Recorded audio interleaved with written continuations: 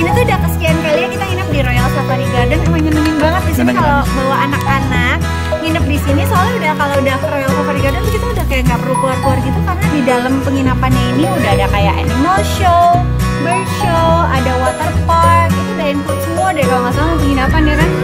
Dan di sini tuh banyak banget wahana mainan anak-anak. Bener-bener nggak perlu keluar di hotel anak-anak sama satu keluarga pasti entertain banget. Semua, semua happy udah Betah. berkeliling lagi anak-anak. Bisa ngasih makan merak. Iya. Aduh, seru banget ya.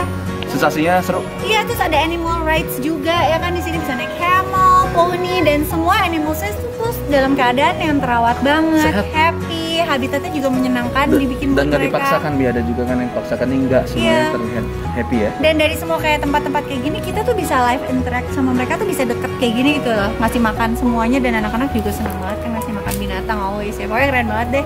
Protokol kesehatannya juga juara, semuanya dipikirin kebersihannya, kesterilannya. Pokoknya semua pengunjung diutamakan kesehatannya dan keamanannya. Kalau mau liburan ke puncak, Ya di Royal Safari Garden.